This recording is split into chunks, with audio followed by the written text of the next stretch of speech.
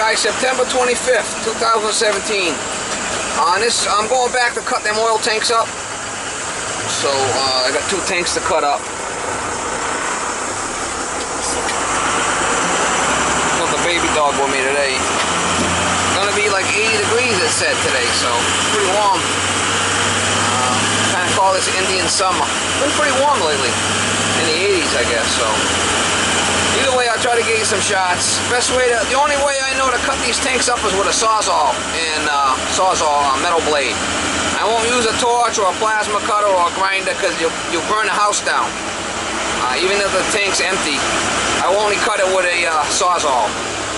That's the only thing that I use. And I never had a problem with a fire once all the oil's out. There'll be some muck in the bottom of them tanks, probably, you know, five, five to eight gallons per tank uh, muck. I'll scoop it out, I'll put it in buckets, and I got some speedy dry. I'm gonna cut the tanks up in four pieces. Um, the bottoms I'm gonna use for some new burning barrels, and the top pieces I'll, cut. I'll cut the metal out of it, and uh, I'll use the metal for projects around the house. I'm, I'm buying a track list that needs some uh, repairs, and I'll probably use the uh, the metal for repairing the repairing the floor and some stuff I need to do on it. Uh, it's a good thickness metal for that type of stuff. But anyway, I'll get you guys some shots when I get there.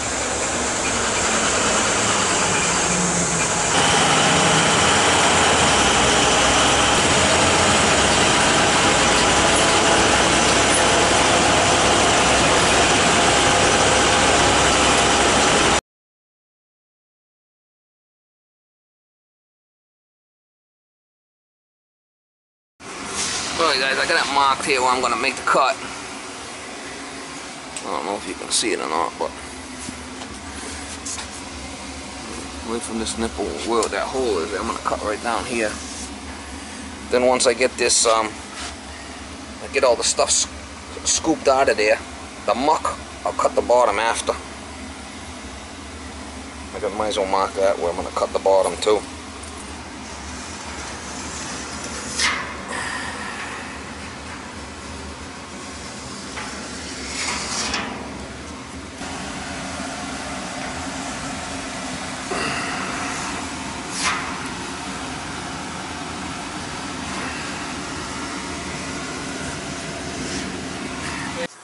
The guy's turned the guy turned up all his zones, make sure everything's working right and I'm coming back nice and toasty on all the returns. He said one of the air handlers, the fan's not kicking in, so it's, it's got something to do with the uh, the relay or the heat sensor, I'm thinking. I gotta take care of that later. That's gonna be extra.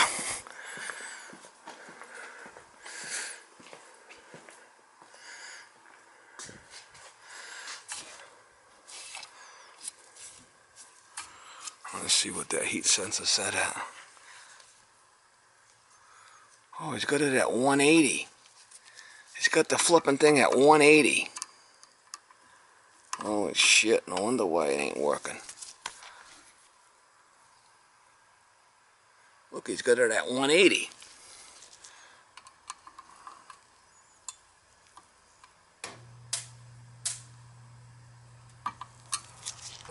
Know if you can see it, but I put it at 130. I mean, the flipping thing was at 180. No wonder why there was no airflow.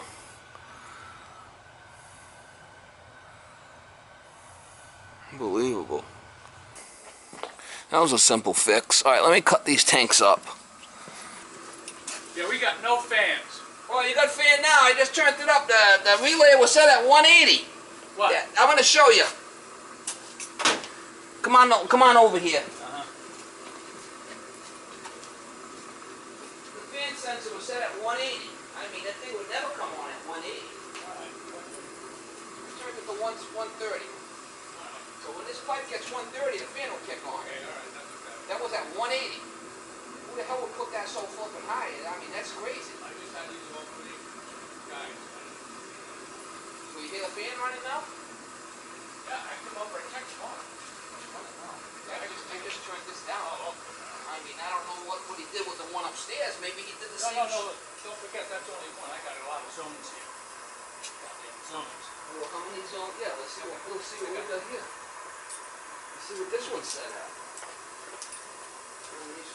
I thought they screwed up the thermocouples.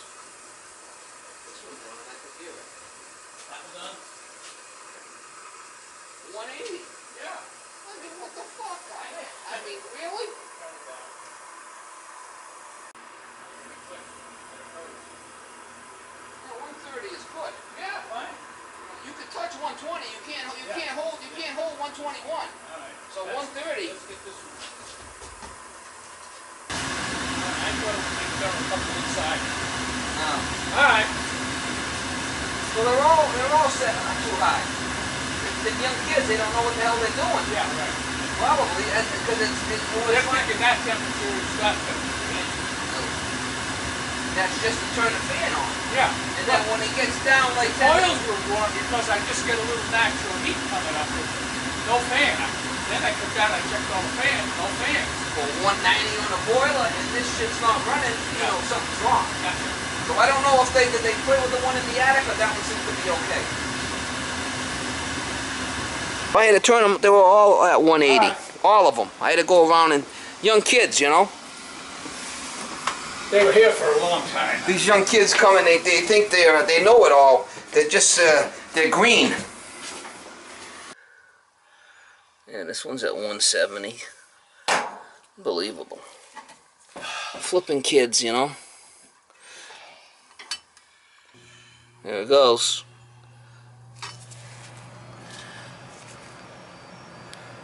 That was easy. Yeah, we'll put them at 130. Okay. Yeah, fine. When they get when the when the pipe heats up to 130, they kick in.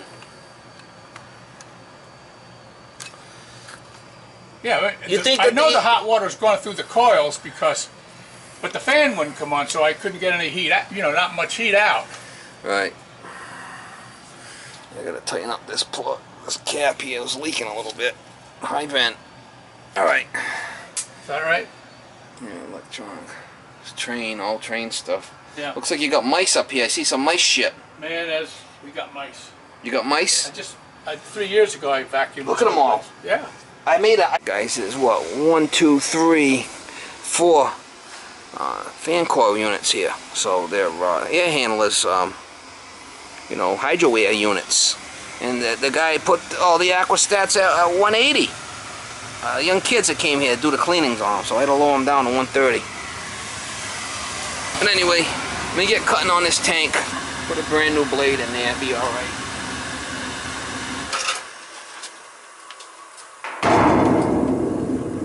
Who gave it the old gun there? Give it the old gun there.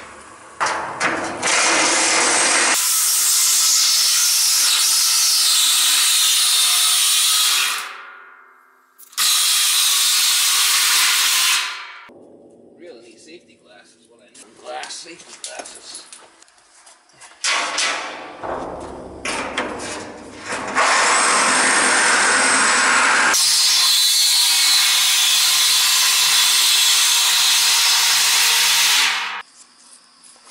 Now, if you notice, I put the mark up above this ridge here, the bottom's going to be a little bit bigger than the top. I'm going to use it for burning barrels, so.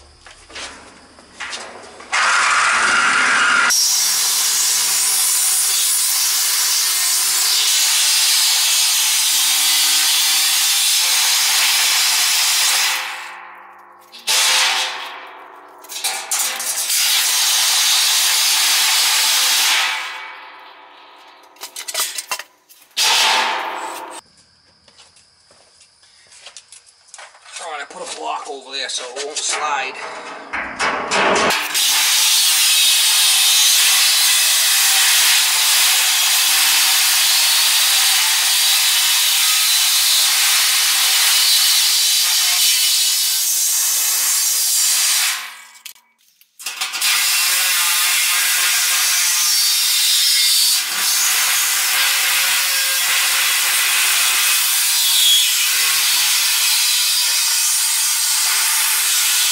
The over there, it's gonna want to fall, so. to be careful.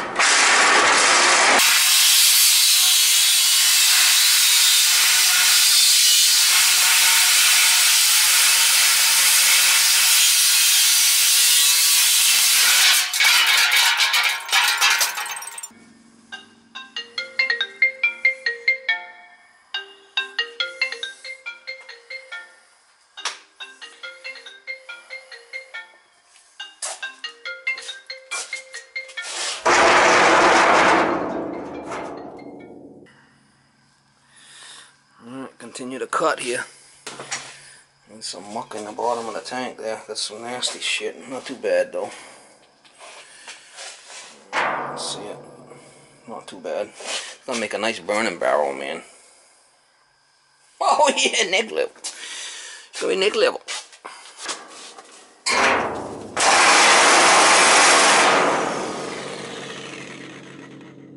Time for a new blade.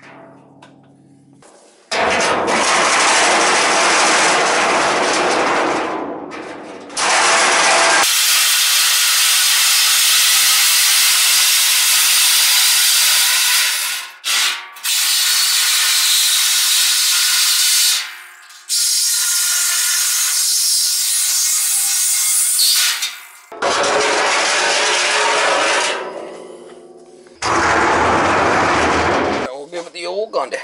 Give it the old gundy.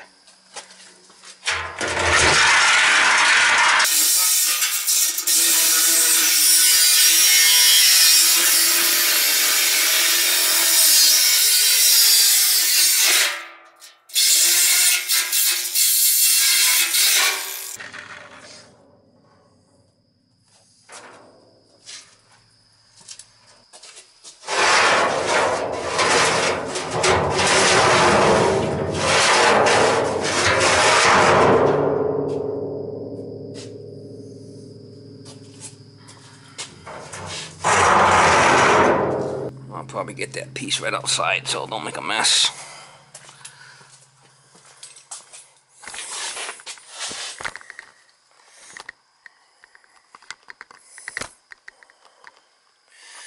I got speedy dry and stuff I need it.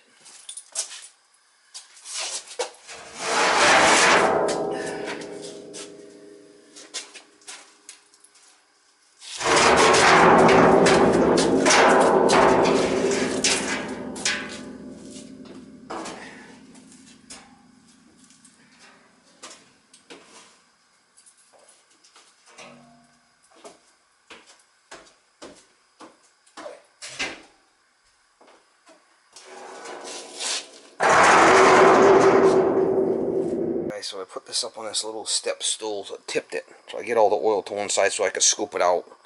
There's not a lot in there, but you guys can see or not, there's not a lot in there. There's some. I'll scoop it out with my container. I mean, this thing doesn't look bad.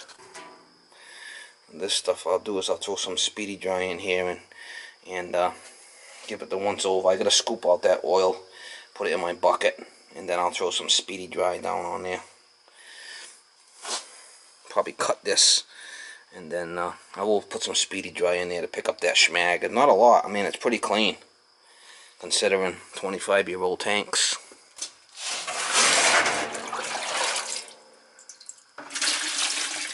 Still pretty mucky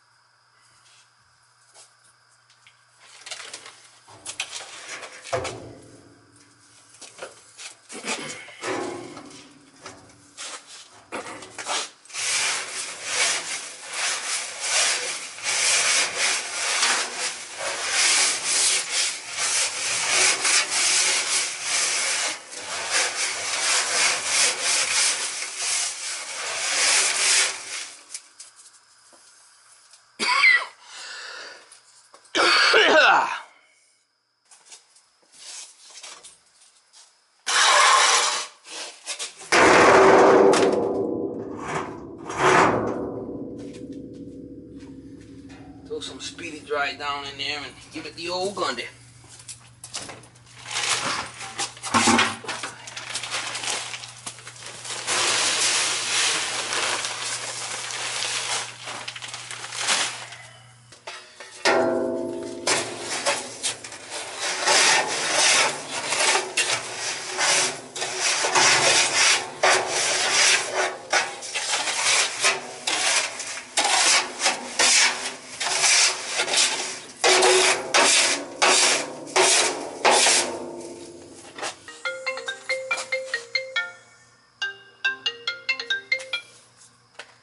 Hello, could I help you?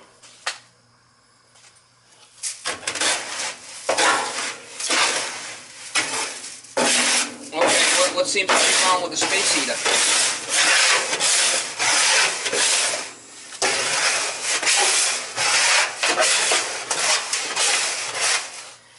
Yeah, no good. We got black, we got black soot. We got black soot.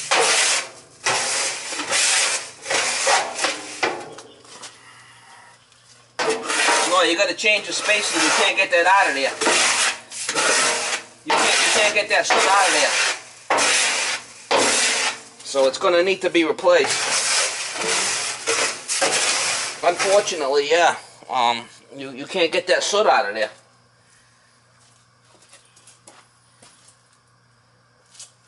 Yeah, it's, it's kind of like, um, it's all welded up inside there. It's all up inside the heat exchanger now if you would have um, if you would have maintained it and, and got a combustion test on the unit, made sure it was running smooth before, you wouldn't have to change it. But now it, it's all it's all up in there, and it's, um, you'll never clean it out. You'll never be able to get it out and clean it. So what happens when you heat it up? It, it gives off high carbon monoxide levels. It's not safe anymore.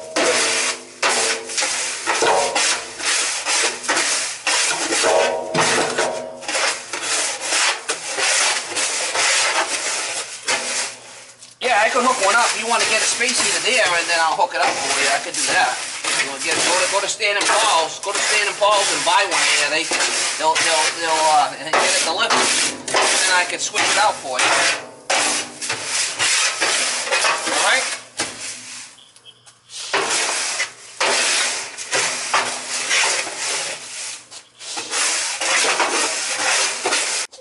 So I put some speedy dry in there and I, I took my I rubbed it on the sides where all the schmag was. It really wasn't too bad. So I just gotta scoop out that speedy dry. It's all dry now. And uh, I didn't get a I didn't get a lot out of it. I mean maybe a couple of gallons. I mean it wasn't bad. Usually they're worse than that. And I I'm gonna pick up that speedy dry and I'll cut this one in half and uh, get it outside. It's gonna be my burning barrels.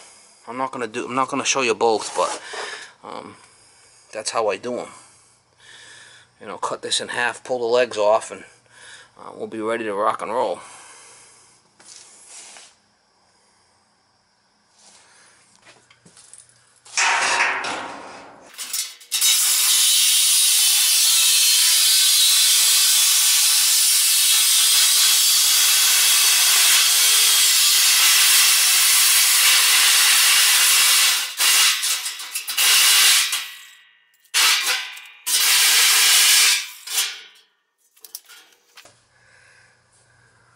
Here we go. I'll get my cot and get him out of here now. Alright guys, so I just put my strap there. I put my uh, cot there like that, right? I'm going to put this strap around there. And I'll just pull it up the stairs.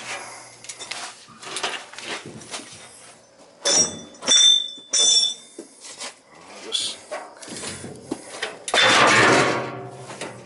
light enough. Just do one stair at a time like that. Get it out.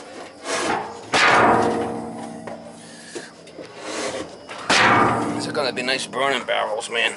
Like split them in half like that.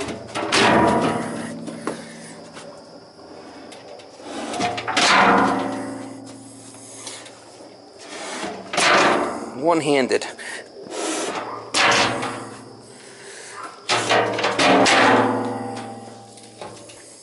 That's how I'm gonna do it. Alright guys, I got the four the four bottoms in here. In the back of the truck. I got them stacked in there. And I'll put the um, I'll put the tops in next. And I'll be able to, you know, shut the doors. Just wheeling them over, putting them on my cart and wheeling them over here, getting them in the truck. Those four there are gonna make two um two new burning barrels for me. Uh, they're gonna be nice, nice and deep. They're in decent shape. Now the guy wanted these oil tanks changed. He wanted the boiler changed. He called me to do the job. Um, you know, they weren't leaking that as far as I could see. Um, the boiler's 25 years old. The tanks are 25 years old. They should be changed at this time. Uh, some people let them go 40, 50 years and they start leaking. It's like, this is when you want to change them before they get bad. Now he's got brand new tanks, brand new boilers, good for another 25 years. Alright guys, I got the place all picked up. Put the date on a boiler that I installed it. I did do a combustion test on it. I put a, a, uh, a carbon here.